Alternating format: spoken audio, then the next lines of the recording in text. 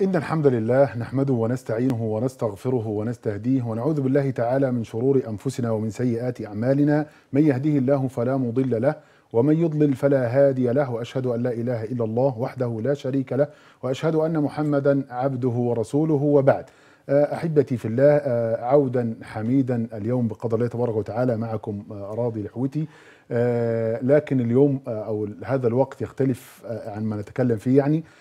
معنا ضيف وحلقة خاصة وقوية جدا وكان إصرار مني على الشيخ شريف إن هو يعرض لنا الحلقة ديت إنه يشرفنا. نرحب بالشيخ شريف العمامي. يا ربنا يحفظك ويبارك فيك. ربنا يبارك فيك ويحفظك.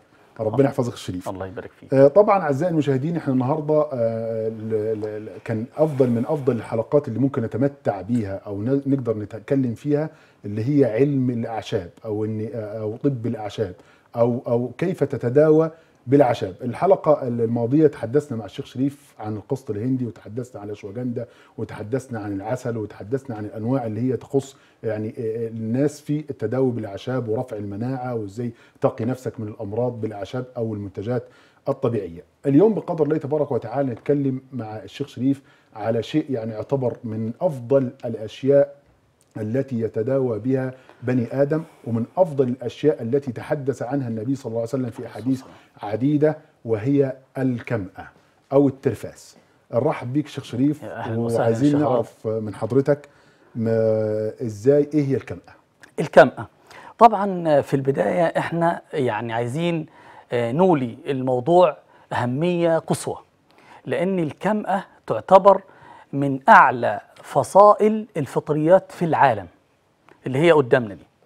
وطبعا الكمأة أنواع وألوان وهي بتختلف في مسمياتها من شعب للتاني ومن دولة للتانية ومن ثقافة لثقافة. فالترفاس بلهجة أهل دول بعض دول دول شمال أفريقيا زي ليبيا تونس الجزائر المغرب وكذلك في موريتانيا بيقولوا عليها ترفاس. الكمأة أو الفقع بلهجة أهل الخليج بيسموها الكمأة أو الفقع. وطبعا بنص المصطلح الذي جاء في السنة الكمأة من المن وماؤها شفاء للعين. كما قال النبي صلى الله عليه وسلم إن الكمأة من المن وماؤها شفاء للعين. وأول من طبق تطبيق عملي في العلاج بالكمأة هو أبو هريرة رضي الله عنه وأرضاه في لجارية كانت عنده تشكو من الرمد في عينيها فأخذ خمس من الأكمؤ يعني هي جمع الكمأة واستخلص أو استخرج الماء ووضعه في قارورة ثم خلطه بالأثمد وفي رواية أنه اكتحلت بالماء دون الأثمد يعني لوحده. فأصبح من هذا الحديث أهمية قصوى من ناحية الطب النبوي في العلاج. ولكن طبعا في أنواع من الكمأة. يعني عندنا مثلا النوع الأسود. النوع الأسود هو أردأ أنواع الكمأة. طيب قبل ما نتكلم على أنواع الكمأة شخصيا تمام. في ناس بتنكر يعني إيه الأحاديث ديت؟ وفي ناس بتقول إن إن الطب أو التداوي بالأعشاب ده أو بالكم أو بغيره ده كلام يعني مش مش مقنع أو مش واقعي. و... ف... ولقد أنكر من قبل أناس كثيرين حديث الذبابة. تمام. ماشي؟ نعم. ولم يصدقوا حديث الذبابة إلا بعد أن جاءت الأبحاث من الغرب. م. فإحنا النهارده في حجة عقلية في حجة علمية لمن لم يصدق ما جاء في الأحاديث. يعني إحنا النهاردة عندنا برهان وعندنا أدلة قاطعة تبين النتائج العملية التي طبقت بالفعل عند قطاع كثير ممن اهتموا بهذا الأمر.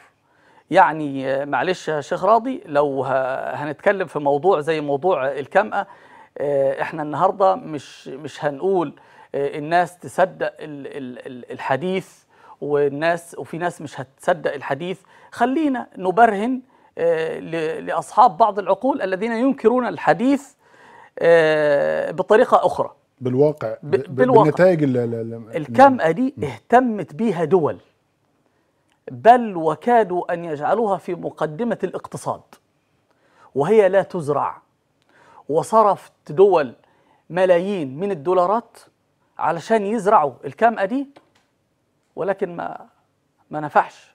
فهي علشان كده أعلى نوع أو أعلى فصيلة من فصائل الفطريات. آه يعني هي مش يعني عشب. غير المشروم آه غير عش الغراب آه. خالص. ودي بتطلع مرة في السنة في بعض الدول. يعني على سبيل المثال دول شمال أفريقيا ودول الخليج وفيه دول أوروبية عندها الكمأة دي غالية جدا جدا جدا. السعر يتعدى ال 3000 دولار. سعرها يتعدى ال 3000 لأنهم عارفين قيمتها دولار. الغذائية والعلاجية. طبعا. مم. وفيه شركات استخلصت بالفعل. شركات أجنبية استخلصت بالفعل من الكمأة الماء. وأصبح هذا الماء زي قطرة للعين مم. للشبكية. وتحديدا لمرض التراخوما. وبعدين إحنا عمالين بنتكلم على أهميتها للعين. لا ده ليها أهمية كبيرة خالص ب- بالنسبة لهشاشة العظام. مغلي الكمأة في وقت لا يقل عن نصف ساعة يعني بالبلدي كده لو عملت منها آه، زي شوربة. تغلي منها نص؟ ساعة آه. دي مفيدة جدا جدا جدا لهشاشة العظام تقي من مرض هشاشة العظام. وت- وتفيد في تقوية الجهاز المناعي. ولكن إحنا لما نيجي نستخدم بنقول يا جماعة الكمأة ما ينفعش ناكلها نية وإن كانت تؤكل ولكن مش أي معدة تستحملها. لأن ممكن لازم مم. إن هي تطهى. والطهي بتاع الكمأة ممكن يكون شوي وممكن يكون سلق تمام؟ وممكن يكون على الطبائخ في صواني زي صواني قرع العسل وعلى ال- على الرز وعلى لكن المكرونة الكميات يا شيخ شريف دي ممكن تضر أو أو أو شيء؟ الكميات بنسبة كبيرة طول ما هي مطهية مفيش ضرر إن شاء الله. مهما شرب منها ما تضرش. ما فيش أي ضرر. استخدامها ما فيش أي ضرر. إحنا دايما بنتكلم عن الكمأة والناس فاهمة إن هي آه، ما بتفيدش غير ال- العين بس لا أنا بنقول لهم وبشرهم إن الكمأة خاصة في الظروف اللي إحنا فيها اللي الجسم محتاج فيها مناعة تقوية للجهاز المناعي وفيها نسبة وفرصة. مم، نسبة دي. بتطلع بتطلع حضرتك يا شيخ راضي آه، مرة في السنة والموسم بتاع آه، استخراج الكمأة من باطن الأرض بيختلف من دولة للتانية. يعني على سبيل المثال في في السودان بيسموها العبلاج أو بنت الرعد أو نبات الرعد لها هي آه، لأن هي ليها علاقة بالرعد والبرق والمطر. لأن هي بتستمد ال- الغذاء بتاعها علشان تنمو من من بعض آه، المواد الحيوية اللي في التربة.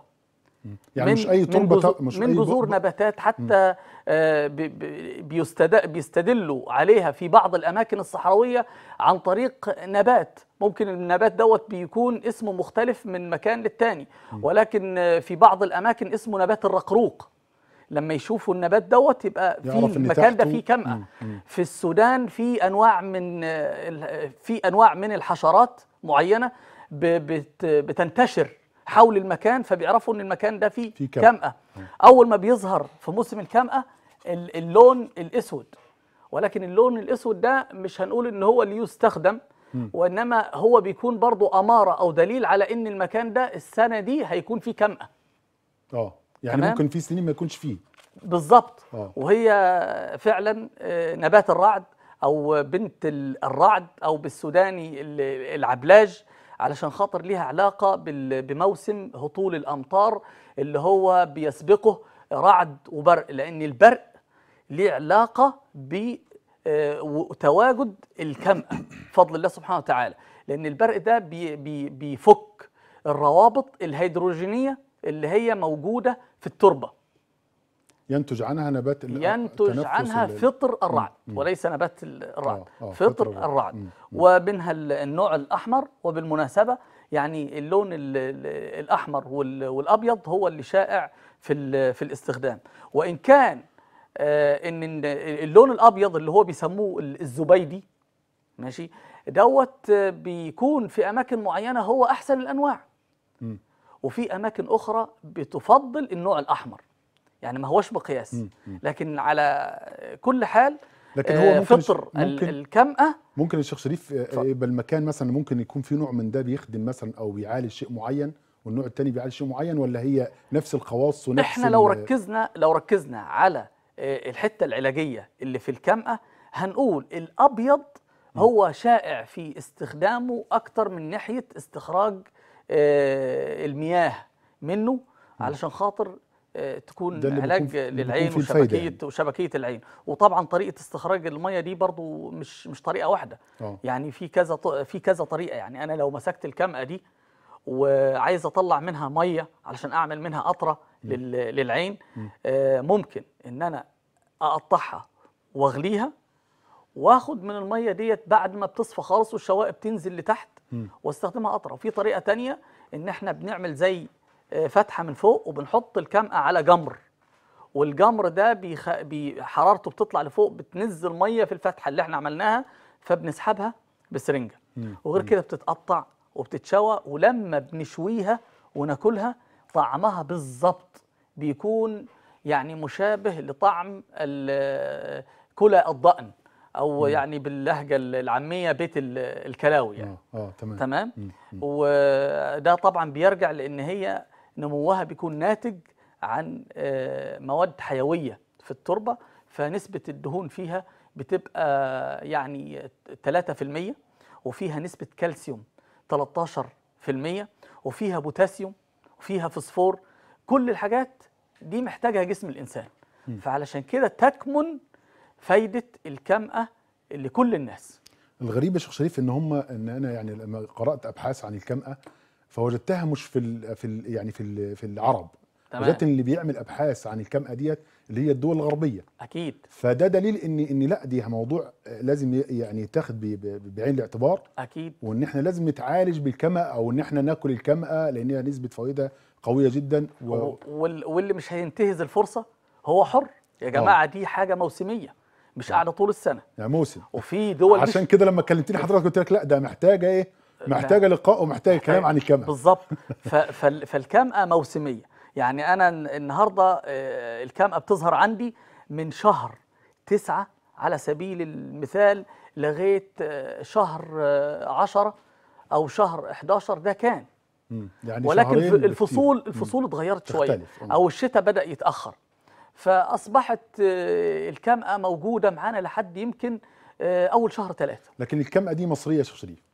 الكمأة دي من الصحراء الغربية. آه وده محافظة مطروح وده فخر إن هو طبعا الصحراء الغربية آه، عن تنتج عندها فيها كمأة و- وده طبعا يعني شيء المفروض يسعدنا جميعا.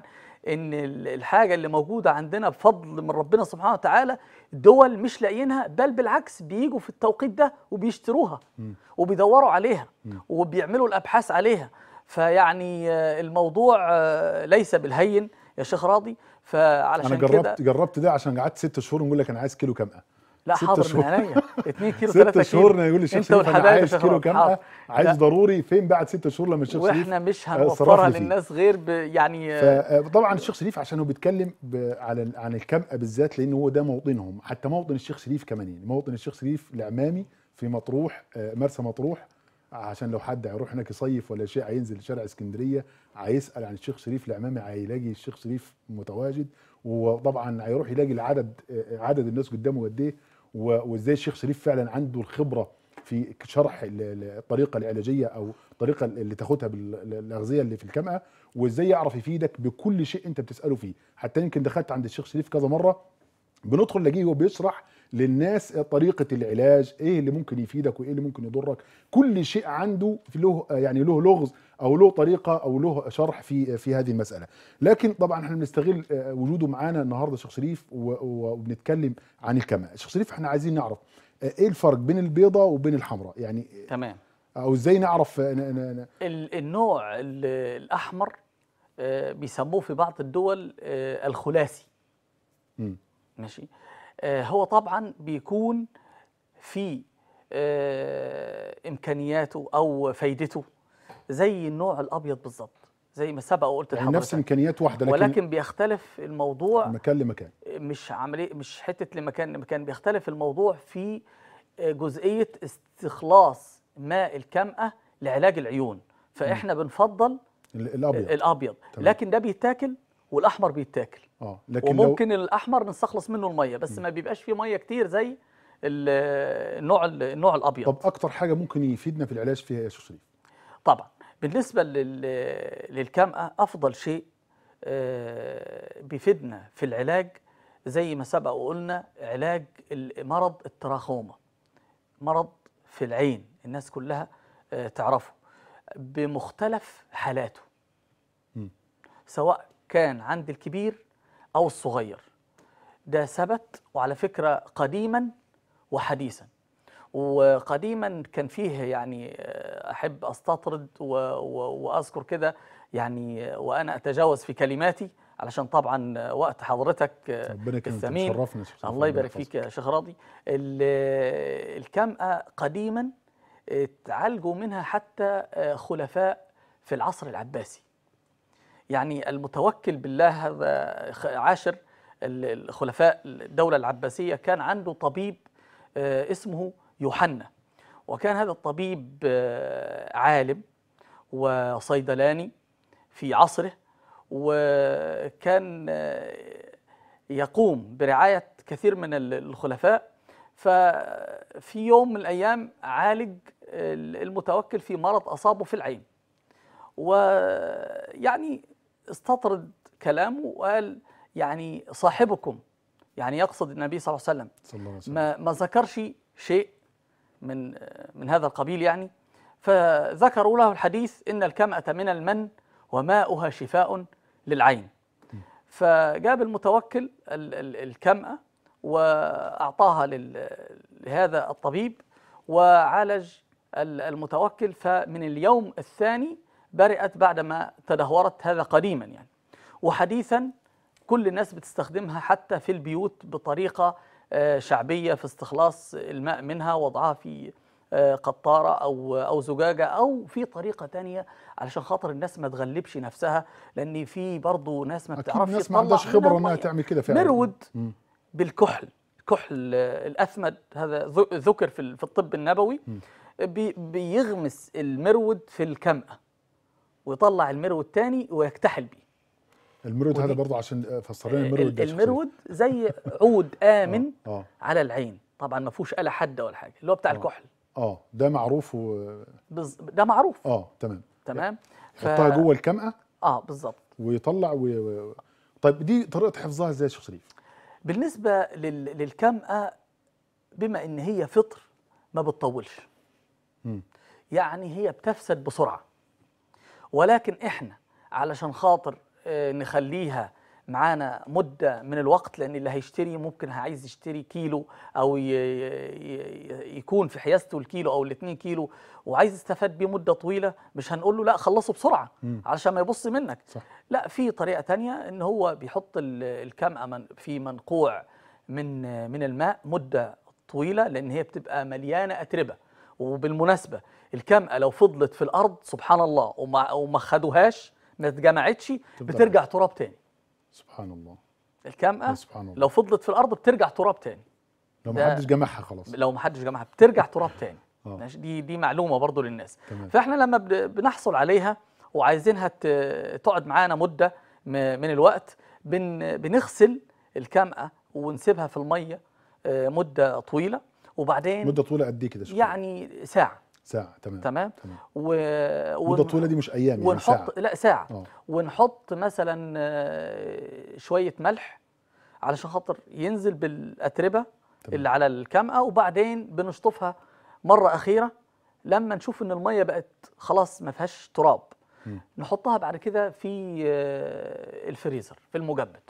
تمام. تجميد التجميد ده هيقعد في معانا أكياس ولا حطها في حاجة ولا بالظبط التجميد ممكن يقعد معانا شهرين ثلاثة تمام. ويقعد أكتر من كده بس الأفضل إنها تكون ما يتجاوزش ما يتجاوزش المدة دي. لكن لو خرجت المية وخلاص الميه تعيش ولا برضه لازم تحطها في الثلاجه برضه في الثلاجه لازم الثلاجه أو أو قبل ما تتحط لو إحنا هنستخدم بقى مية قبل ما نحطها نستخدمها للعين ما نطلعهاش من الثلاجه على العين على طول. سيبها تبرد. لازم نسيبها نسيبها مش أقل من من ساعة مم. بره وبعدين وبعدين نستخدمها.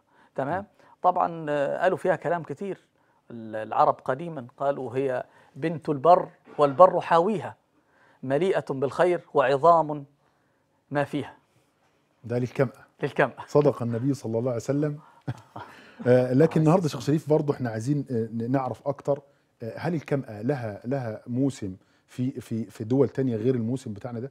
ده ال- الموسم ال- الكمأة لازم يكون موسم أمطار و- وجو فيه رطوبة عالية.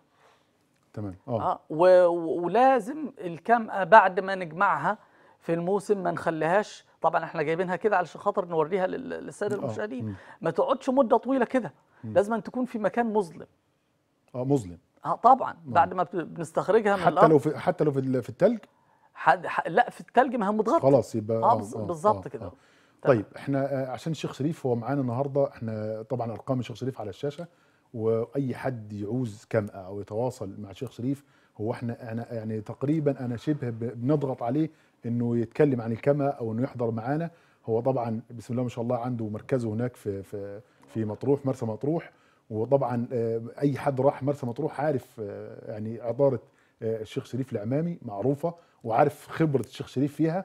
أرقام الشيخ شريف موجودة وإحنا برضو يمكن نتكلم مع الشيخ شريف قبل الهوا قلت له طب أنت في مطروح يا شيخ شريف عشان نروح نجيب كيلو كمأة هنروح لك مطروح عشان نجيب كيلو ونرجع يكون باظ مني. فالشيخ شريف ربنا يحفظه ويبارك فيه قال لا أنا ممكن مستعد إن ممكن نشحنها أو نوصلها لأي مكان آه، داخل مصر. وبرضه إن شاء الله يوعدنا إن إحنا ممكن نطلعوها بره مصر بإذن الله هو يقدر يحافظ عليها في المكان آه، آه، box. يعني هو جايبها دلوقتي في box كده آه، آه، يقدر يوصلها في أي مكان في آه، داخل مصر يعني أو بره مصر بإذن الله. آه، فطبعا إحنا الشيخ شريف وعدنا بالكلام ده وهو تقريبا يعني آه، آه، قلت له طب الأسعار إيه؟ طب الناس تعرف توصلها إزاي؟ طبعا قال لي أنا يعني عشان هم اللي بيطلعوها من المكان ده ويمكن أنا رحت شفت الأماكن ديت بنفسي آه، بيطلعوها من الأماكن دي بنفسهم وعارفين هم بيطلعوها إزاي. ومش هتلاقي فعلا يعني آه، أنا دايما بننصح دايما تاخد العشبة أو الأعشاب أو أي أو فطر زي ده أو أي شيء من موطنه من الناس اللي هي عندها خبرة بيه عارفة هي بتعمله إزاي عارفة تطلعه إزاي لأن ال- ال- ال- الفطر ده ممكن يكون عندك موجود لك أنت وتستخدمه وما يجيبش معاك أي فايدة لأنك أصلا استخدمته غلط أو طلعته أو استخرجته غلط لكن مش أي حد يعملها. فالشيخ شريف قال خلاص إحنا أسعار إحنا والله بنطلعوها بسعر يعني خروجها لأن إحنا عايزين نفيد الناس بيها وبيصعب علينا إن هي تروح في الأرض ومحدش يعرف آه، عنها شيء اللي هي الكمأة طبعا بكل أنواعها وبمواسمها والشيء متوفرة عند الشيخ شريف آه، في آه، طبعا في مكانه في مطروح. أي حد ينزل مطروح هي موجودة هناك. وطبعا الكمأة ديت كما قال النبي صلى الله عليه وسلم إنها إيه؟ من الكمأة؟ من المن وماؤها شفاء للعين. وشفاء للعين طبعا. ومش شفاء للعين بس لا ده دي ليها فوائد كتير جدا للمعدة تقريبا شيخ شريف. هي والألم لل- المفاصل. لآلام ال- لآلام المفاصل وفي آه، يعني حاجة إحنا برضو نسينا نبشر بها الناس.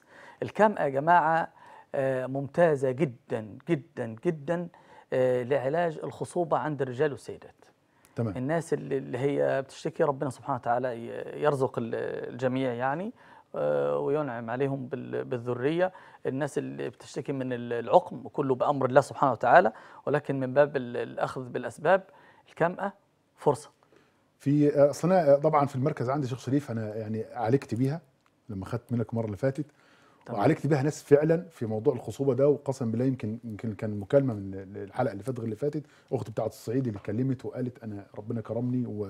وأنجبت طبعا ده كان من ضمن العلاج بتاعها كان آه، هذه ال- الكمأة ودي أشياء موجودة عندنا في مصر ونقدر نطلعها ونقدر نستخرجها.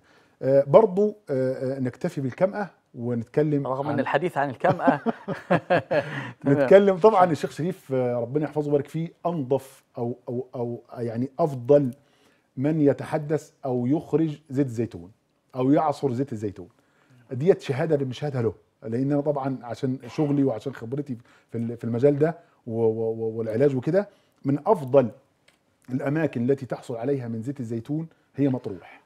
ومن أفضل الأماكن أو من أفضل الناس اللي ممكن تاخد منهم زيت زيتون فعلا الشيخ شريف لأن دي بتبقى لها طريقة في العصر ولها طريقه حتى في في في في تنجيه الزيتون نفسه وإزاي تاخد الزيتونه نفسها اللي هتعصرها عشان تفيد وتطلع ال- الفوائد بتاعة الزيتون. آه، شيخ شريف إحنا عايزين نتكلم بس سريعا على زيت الزيتون وإزاي بيستخرج. و- وطبعا حضرتك الشيخ شريف عامل عروض على على على زيت لو حد ياخد أي جملة شيء منه. على أي شيء يعني يفيد الناس من الناحية ال- ال- الصحية الطبية البدنية. آه، يعني إحنا بنراعي الناس في آه، حتة ال- الأسعار وال- والكلام ده. لأن إحنا يهمنا طبعا أن الجميع يكون بصحة جيدة وبما ال- الزيت زيت الزيتون يعني مرتبط آه، يعني بعقيدة. وربنا سبحانه وتعالى ضرب نور السماء نوره آه، نور السماوات والأرض مثل نوره كمشكاة فيها مصباح المصباح في زجاجة الزجاجة كأنها كوكب دري يوقد من شجرة مباركة زيتونة لا شرقية ولا غربية يكاد زيتها يضيء ولو لم تمسسه نار نور على نور. ويأتي زيت الزيتون في الطب النبوي آه، الحديث آه، عن النبي صلى الله عليه وسلم كلوا الزيت وادهنوا به فإنه من شجرة مباركة. فزيت الزيتون أكل وزيت الزيتون دهان زيت الزيتون غذاء زيت الزيتون شفاء بإذن الله زيت الزيتون كذلك لل- للت- للتجميل آه، زيت الزيتون آه، لا أقول أنه ثقافة شعوب على الطعام فحسب ولكن زيت الزيتون آه، صحة لكل الأفراد والمجتمعات. آه، طرق عصر زيت الزيتون واحدة ولكن بتكون آه، بطريقتين. يعني هي الطريقة واحدة معروفة عند الناس ولكن آه، في طريقة بدائية اللي هي كان بيجيبوا الزيتون في مكبس والمكبس ده بي بي بيدوروه مثلا ال- ال- ال- المواشي أعزك الله. وبعد ما يتحول هذا الزيتون آه، إلى ما يشبه التفل بيتحط في مكبس تاني علشان خاطر ينزل الزيت بال- بالمية. وبعدين بيسيبوه في براميل مجلفنة علشان يفصل المية عن الزيت ودي بيسموها زيت الزيتون اللي هو على البارد. على البارد. فده كان بيكلفهم جهد كتير وكان طبعا آه، ما بيسعفهمش. ال- المكن الحديث برضو آه، بي- بيعصر على البارد. لأن ال- ال- الزيت ما ينفعش يتعصر في درجة حرارة آه، آه، أعلى من درجة من 38 درجة مئوية. لأن لو لو زادت عن 38 درجة مئوية بيفقد الزيت خواص بعض الخواص اللي فيه. لأن ال- ال- الزيوت طبعا أحادية وزيوت مشبعة وفي زيوت مهدرجة. فزيت الزيتون آه، أفضل الزيوت لتقليل مش هقول لك إن هو خالي من من الكوليسترول زي ما بيقولوا لا ده هو بيقلل الكوليسترول في في الجسم. وزيت الزيتون مش للكوليسترول بس زيت الزيتون لخشونة المفاصل وآلام ال- العظام. زيت الزيتون لل- للغضاريف فقرات ال- الظهر وال- والرقبة.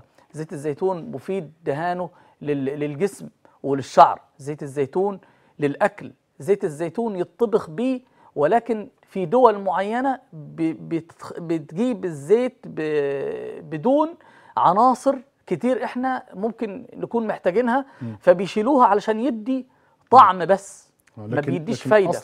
آه لكن ال- اللي هو بيستخدم على البارد نحط منه على الفول نحط منه على الجبن نحط منه في في الأكل ونغمس نحط منه على التمر آه، ده أفضل استخدام آه، لزيت لزيت الزيتون. ومقوي للمناعة جدا على فكرة. وبرضه بيقي من هشاشة العظام. يعني إحنا عندنا في أوجه شبه ما بين الكمأة اللي اتكلمنا عليها وما بين زيت زيت الزيتون الزيتون. في بيشتركوا مع بعض. في في حاجات كتير. هو هو الشيخ شريف طبعا آه، آه، الكميات تقريبا موجودة عندك كميات زيت زيتون كلها موجودة وعليها و... عليها وال... وال... والحموضة طبعا إحنا دايما آه،. بنقول زيت الزيتون فرز أول وعلى البارد والحموضة أقل من من واحد في المية والكلام ده. إحنا عايزين نضيف برضو إن زيت الزيتون في شركات عالمية قسمت زيت الزيتون لأقسام extra virgin. current virgin فيعني كل تقسيم من هذه التقسيمات آه، ليه درجة حموضة. فإحنا بفضل الله عندنا الحموضة أقل من واحد في المية. طيب إزاي نعرف إن الزيت ده آه، م- معصور على البارد؟ وإزاي نعرف إن هو آه، ال ال يعني عامة الناس مش هيعرفه. هو, كله بيكتب على البارد. عام يعني بالظبط هو طب. عام وممكن يكون كله على البارد. بس في جزئية يعني أنا أحب اكد عليها. آه، حتة نسبة الحموضة نسبة الحموضة دي مش معناها إن أنا باكل الزيت بلقى طعمه حامض. مم. لأ مم. نسبة الحموضة دي بترجع لل- للثمرة ذات نفسها. المفروض زي ما بيقولوا كده على رأي ال- المثل من الشجر للحجر. هو ده المفروض إن هو ال- الز- الزيتونة وهي كده آه، سليمة ما فيهاش أي مرض من الأمراض الزراعية. تروح المعصرة على طول ما يبقاش الزيتون خليط ولا الزيتون يكون آه، ساقط تحت الشجر. مدة طويلة ولا الزيتون برضو يكون آه، عليه نسبة ملح لأن في البعض بي- بيحط نسبة ملح عشان علشان خاطر أكتر. علشان خاطر ينزل المية وبيستعجل. فبيفقد بعض ال- الخواص اللي فيه اللي إحنا محتاجينها لصحتنا. لكن هو في في الغالب كله على البارد. هو كله فعلا على البارد. ولكن ال- ال- ال- الفرق بيكون في نسبة الحموضة من مكان لمكان من ثمرة للتانية الثمرة دي هل اتعصرت وهي سليمة؟ ما فيهاش أي مرض ولا اتعصرت بعد ما عدى عليها أيام ولا فيها حاجة فهو ده ال- طب ال- نوع ال نوع ال نوع الزيتون نفسها بيحكم على على على زيت الزيتون؟ نوع الزيتونة نفسها؟ آه. أكيد طبعا نوع الزيتونة نفسها بيحكم على الزيت آه. في في حتى في الريحة حتى في في الطعم. تمام؟ وبعدين آه، يعني كل كل أنواع الزيتون اللي في الشجرة بتتعصر شريف ولا لها أنواع معينة؟ لا، في أنواع معينة طبعا للعصر. في أنواع معينة غير ما تنفعش غير ما. تنفعش آه، غير إن هي مخلل. آه بس. آه بالظبط. لكن طب في ناس بتعمل بقى كله على بعضه وخلاص و... غالبا لا.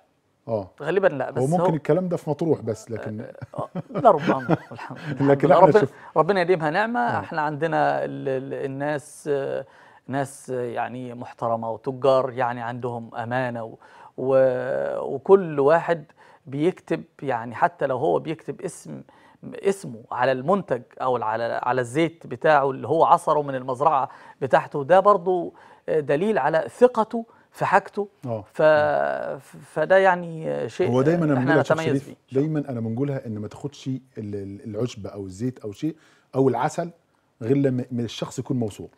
هو يعني أنت ما المفروض تثقش في المنتج قد قد الشخص. هو المفروض حتى البيع آه، ليه ثقافة. وإرشاد الناس على المنتج آه، يعني يكون بعلم.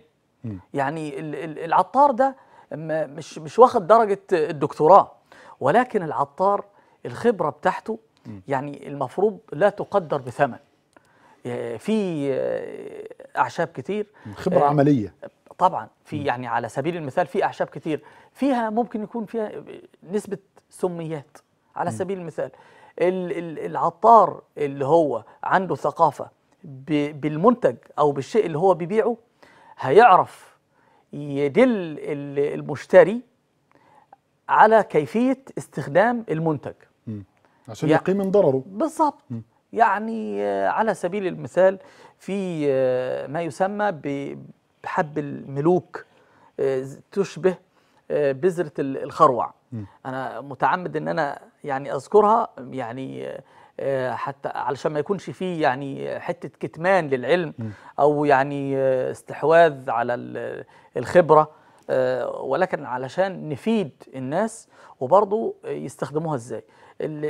بياخدوها حبة الملوك دي أحيانا بيعالجوا بيها الميكروب الحلزوني بس بيبقى منها خطورة في بعض الأوقات لو هي اتاخدت زي ما هي. لازم تتقشر من بره وتتقسم بالنص وفي رق في النص دوت المفروض إن هو يتشال ويترمى. اللي في النص اللي يترمى. بالظبط. لو هو خدها زي ما هي كده في نسبة سموم بقى. في, في نسبة سموم وبتعمل أحيانا قيء وإسهال شديد. تمام؟ فدي على سبيل المثال يعني. وطبعا في حاجات كتير. الله المستعان. طيب آه، طبعا عشان خاطر معانا الشيخ شريف النهارده إحنا اتكلمنا على أفضل يعني من أفضل العلاجات اللي وصفت بالطب النبوي آه، الكمأة أو الترفاس. آه، واتكلمنا عن زيت الزيتون وطبعا دي حاجات يعني أنا مجربها عندي في المركز عندي وعارف فعلا إنها منين بتيجي. أنا بتكلم على سر مهنتي عشان لو تروحوا بعد كده تاخدوا من الشيخ شريف. هو الشيخ شريف اللي إيه؟ المورد يعني تقريبا. الأعشاب. وطبعا كل أفضل حاجة هتلاقيها عنده طبعا الشيخ شريف عامل حاجات عنده خاصة بيه هي يعني إيه؟ حاجة حصري بالنسبة لل- للعلاجات وكده. وطبعا موجود الشيخ شريف في شارع الإسكندرية في آه، في شارع مطروح. التحرير متفرع من شارع اسكندريه آه شارع التحرير متفرع من شارع الإسكندرية. وطبعا ده معروف مكانه هناك تسأل عليه في أي مكان الشيخ شريف العمامي أي حد هيوصلك. وطبعا الأرقام على الشاشة. وإن شاء الله آه، يعني إن شاء الله يكون لنا لقاءات تانية على عشبة تانية أو فطر تانية أو أي منتج من منتجات الشيخ شريف تاني. يعني آه، نشكر آه، الشيخ شريف آه، و- العفو. وإحنا اللي ونقول يعني يا ريت. تتكرر تاني الشيخ شريف إن شاء الله يكون لنا الشرف آه، بوجودنا معاكم ومشكرين ليك يا شيخ راضي. وشكرا للقناة والفريق خلف ال- الكاميرات وفي الاستوديو شكرا لكم جميعا ربنا يحفظك آه، أنا إن شاء الله طبعا معانا إحنا بعد الشيخ شريف معانا آه، الشيخ حميدة ربنا يحفظه ويبارك فيه آه، طبعا إحنا خلصنا جزء الأعشاب بعد الفاصل نتكلم على آه، طبعا علاج آه، السحر ومرض السحر وهيكون معانا طبعا الخبير في آه، علوم السحر أو أو المعالج بالقرآن والسنة الشيخ حميدة عبد الكريم. يعني إن شاء الله نخرج فاصل ون- ونواصل. مركز